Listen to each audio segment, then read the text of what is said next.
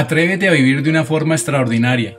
Viaja, disfruta, conoce, gózate la vida, sé feliz. La felicidad es la clave del éxito. Dios ilumine tu camino, guíe tus pasos y te colme de bendiciones. Bienvenidos.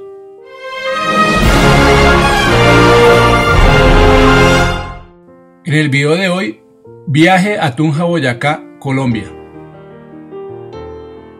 Saliendo de Bogotá por la autopista norte, voy rumbo a Tunja, Boyacá, que es mi primer destino en este viaje que me llevará a la laguna de Pantano Grande en Pesca, Boyacá, un hermoso lugar de la geografía colombiana. Mientras me voy desplazando por esta carretera de doble calzada que como se puede ver está en muy buenas condiciones para transitar a buen ritmo, eso sí sin exceder los límites de velocidad permitidos.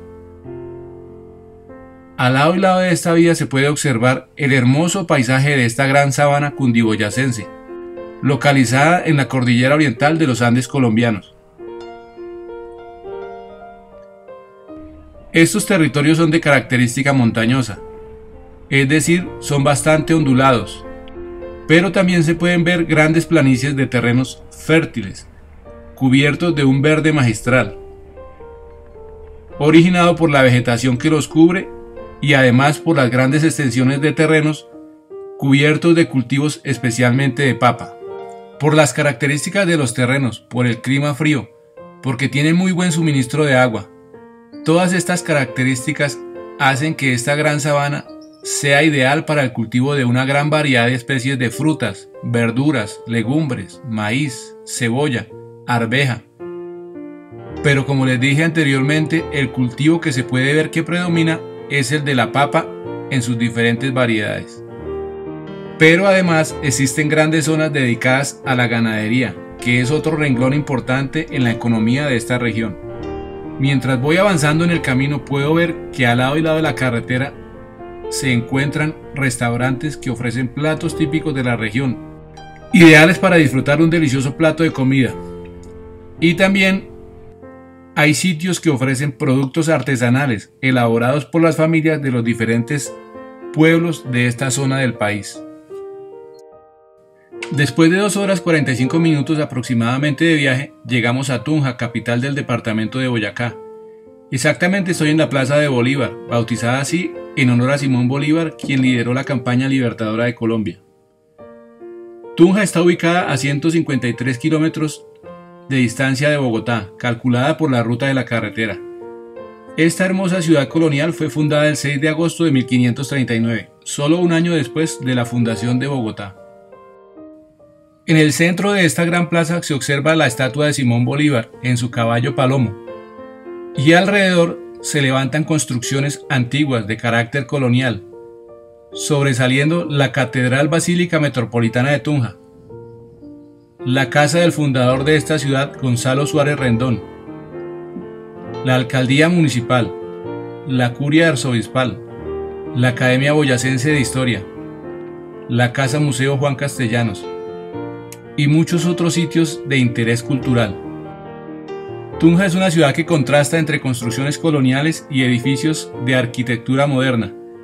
Es centro de importantes eventos culturales como el Aguinaldo Boyacense o el Festival Internacional de la Cultura de Boyacá.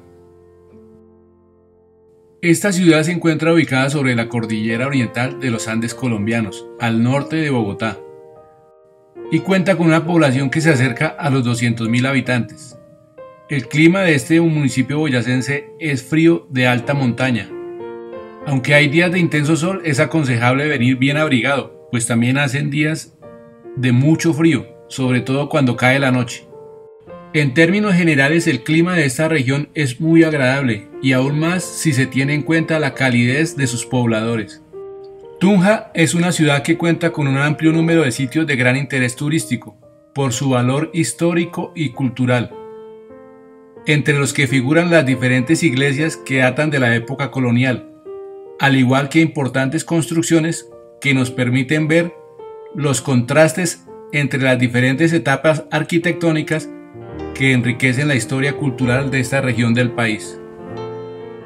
Esta ciudad cuenta con un gran número de instituciones educativas de muy buen nivel académico, lo que la ha llevado a destacarse como la de mejor rendimiento en las diferentes pruebas que miden los conocimientos de los estudiantes. Pero además es un gran centro empresarial y de negocios y presenta los mejores índices de seguridad. Todo esto hace que Tunja sea un destino recomendado para venir a disfrutar de todo el entorno maravilloso que la rodea, los hermosos paisajes que se pueden apreciar, los diferentes sitios de interés histórico y cultural, el clima frío pero agradable, la calidez de sus gentes, la gastronomía típica de la región. En fin, como podemos ver ha caído la noche y aquí descansaré para mañana continuar el viaje que me llevará a la laguna de Pantano Grande en Pesca Boyacá. Pero ese hermoso lugar se los mostraré en un próximo video. Abajo en la descripción de este video les dejaré el link para que lo ubiquen fácilmente y lo puedan ver. Si les gustó el video espero sus comentarios y me gusta y además los invito a que se suscriban a mi canal. Ayúdenme a crecer en YouTube. Gracias y Dios los bendiga.